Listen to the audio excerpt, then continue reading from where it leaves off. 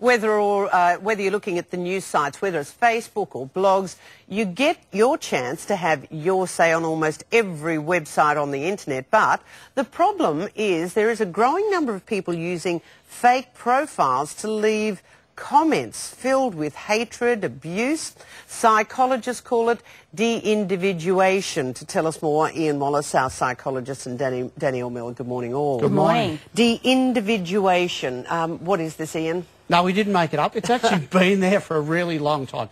It started when we looked at mobs who together did stuff they wouldn't do in person. And when they believed they were anonymous in the mob, they would attack people. So the old riots, all that sort of stuff, or even recently in the London riots, you had people attacking shops, cheering each other on because they thought they were anonymous. Now that's moved to the internet where people will attack someone anonymously, say after a suicide, write horrible things about that person as a group that are really vitriolic believing they're anonymous and no one can actually get at them. So the good old-fashioned pack mentality has moved on to the it's web. actually, it's mob mentality, mm. technically, yeah. Mm. Dannielle, give me some examples.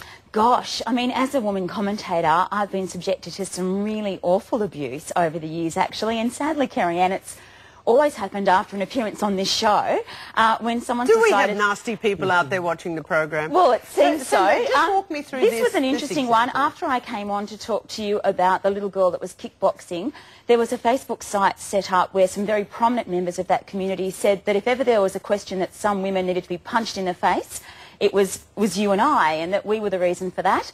And then, um, Gee, did I miss that? What a shame! Yeah, and then the commentators went on to say things about us being, you know, sort of sluts and fat and femo nuts. Okay, and, sluts I object to. Oh look, it was just. It was quite horrible, but the interesting thing in this case was that the commentators weren't anonymous at all, that they actually had this on their public profiles. Mm. It's quite distressing because I also have a YouTube account, and when I put clips up, the comments can be so inappropriate and so nasty and not actually on the issue at all, but personal attacks on mm. the hmm. personalities that are expressing opinions mm. to the point that I've just shut down comments on particular posts. And so can happened, you do that? If yeah, you can, and you need to be very mindful of you, that. You do it as a business. Yes. I don't have Facebook. I don't do any of that stuff because I just think it opens the door to nastiness. It's, it's gossiping that you have no control but of. it's not just us. Now mm. it's happening in places like in a, a, business, everyone will target someone and bully them online mm. behind pseudonym names that I have this screen name so it's not me and they'll attack someone. Or mm. we get cases where people are attacked through a blog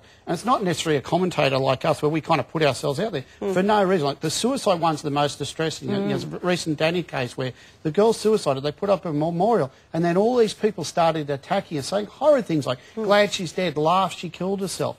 You know, and no one would say that in person. That's what really de-individuation is. That would you go up to that person's yeah. mother and say, "Ha ha, glad your kid's dead," But people were actually writing that online. And in my case, I did a blog post on that and I shut down comments for that reason, that some of the comments were so personal. Mm. Now, the thing that really troubles me as a female commentator is that if this extreme, you know, the personalising of the attacks, mm. particularly on women, because when male commentators are criticised, it doesn't tend to be based on their appearance at all, mm. that it will actually shut down women so, from wanting to be part of that community, part of that voice. So if this is happening, and clearly it does yeah. happen, what do you do? The important I mean, thing if is that's your job, you've got to, you know, yeah. really wear it. The important thing is most of these people are bullies. Under, mm. Underneath, yes. they're often very insecure, very inadequate. So well, we what would be a correct response then? If two, you know these people are bullies, either, how do you respond? Two quick things. Either just ignore it altogether, just don't respond because they want you to get really mm. upset. Mm. Or actually, we sometimes tell people, email them and see whether they'll respond face to face because mm -hmm. most of them back off immediately. Yeah, just yeah. like, go, oh, sorry, didn't mean it, didn't didn't want to actually say and that. And I've got to say, I mean, I you know, don't recommend this at home, folks, but I actually rang some of the people who were making those mm. awful comments and made those graphics about us